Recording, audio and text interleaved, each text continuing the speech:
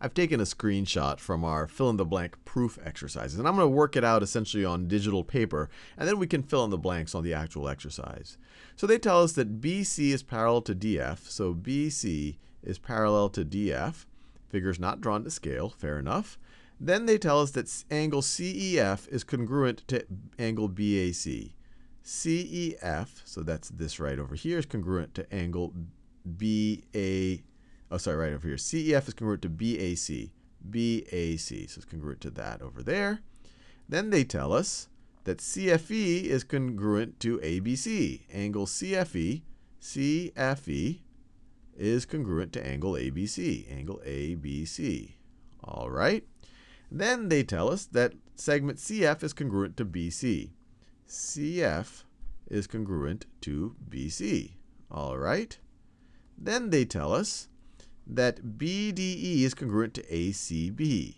Let's see. BDE, BDE is congruent to ACB. So that's that right over there. Then they tell us DE is congruent to AC. So DE, DE is congruent to AC. And then finally, they tell us that BED is congruent. Let me do that in a different color since I keep. So BED is congruent to BAC. B, B, let me make sure I get BED. So it's this angle right over here is congruent to BD, is congruent to BAC. BAC is this blue one over there, so we already have a marker for that. So I'll write the blue one just like that. So that's that piece of information as well. Now we're ready for the proof. Now, whenever you do any proof, it's good to know what you're trying to prove. So let's just cut to the chase and see where this proof actually goes. So the last statement of the proof, they say triangle BCA is congruent to triangle BCE because, and we have to figure out why we can say that based on everything that this proof is proven beforehand. But so we're essentially just proving that triangle BCA, triangle BCA, which is which is this triangle right up here, this is BCA, that it is congruent to triangle BCE.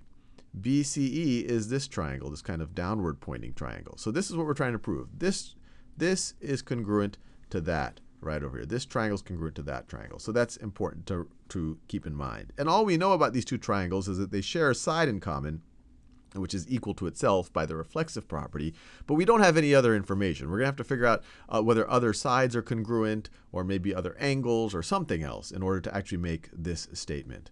So let's see what they've done in the proof. So first they make a statement, and we don't need to correct it, but it's good to follow the narrative of their proof. BCA is congruent to BDE. BCA is congruent to BDE. BDA. BDE because of angle, side, angle. So let's see. We have an angle, side, angle. Angle, side, angle. This triple arc corresponds to D here, corresponds to C there. And you see that even over here. The way they wrote it, D is the middle here and C is the middle there. So they do correspond to each other. That makes sense. This angle, the, or sorry, this side, DE, should correspond to CA. And you see that over here, DE corresponds to CA based on the order it's written. E comes right after D, A comes right after C. And so this seems, an angle E should correspond to angle A, and it does. Angle E corresponds to angle A, and it does. So this is completely legitimate. Angle, side, angle.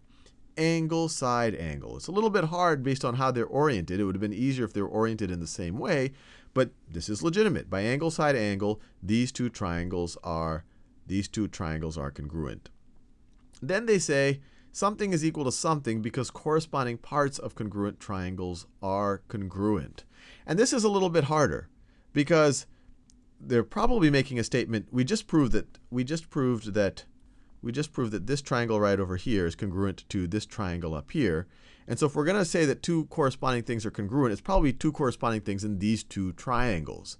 And what can we do? What, what, what is corresponding in these two triangles that will help us get to our end goal of saying that this top triangle is congruent to this bottom one? Well, the only information that this side triangle right over here, B, that BDE shares with the central triangle, is this side. So maybe we can say that this side corresponds to some side up here, and it does because they're congruent, and then that'll give us information for this middle triangle. So let's let's just think about that, and it may or may not be right, but it's a good working it's a good working guess. And there's different ways to tackle these. So this side over here, BE, BE, if we look at how this is, BE should correspond to BA. BE, remember, it's between the blue and it's between the blue and the not triple green side. So between the blue and the not triple green side. So these two co should correspond based on the information right over here. So this thing, let me do this in a different color. This thing, this thing should be congruent to that thing right over there. And that gives us interesting information because now we've built up two congruent sides of this middle one and this top one. So let's write that as our, as our working thesis of what they want here. So we can say we can say BE, BE, BE is congruent, or we could say, well, we could say the length is equal, but we could even say BE is congruent to BA, is congruent to BA because corresponding parts of congruent triangles are congruent. And this is not an easy thing to do, but the real hint is they just told us that these two things are congruent, and we want some information about this middle triangle, and they share a common side here. So it seems reasonable enough. All right, Hope, hopefully that gets us to the right endpoint. Now they tell us that triangle BCA, triangle BCA is congruent to FCE, FCE. And we started at F, we started at B. That's the double angle side. Then you went across this one side, and you went across this side with the magenta marker. So that seems right because of angle, angle, side. Angle, angle, side angle, blue angle, double magenta angle, and then the single magenta slash side. Angle, angle, side, angle, angle, side. That seems legitimate, and it should, unless there was some type of error in this code. And then they say, and then they say, AC is congruent to CE because, so AC is congruent to CE. Well, we just figured out we just figured out that this top triangle is congruent to this one down over here.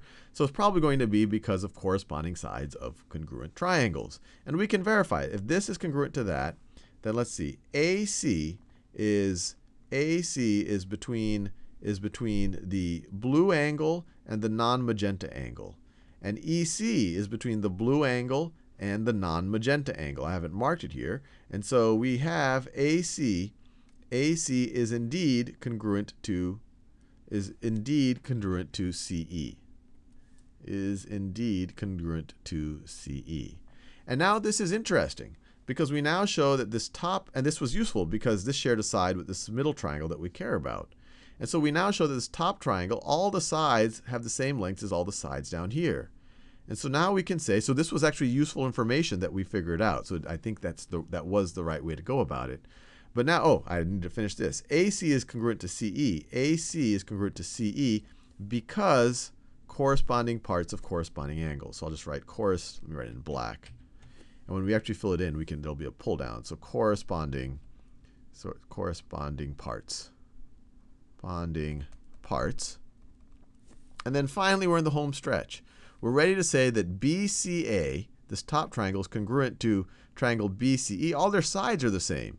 So this is side, side, side, side, side, side congruency. So now let's verify our answer. So let's take out the actual exercise. And so let's go down here.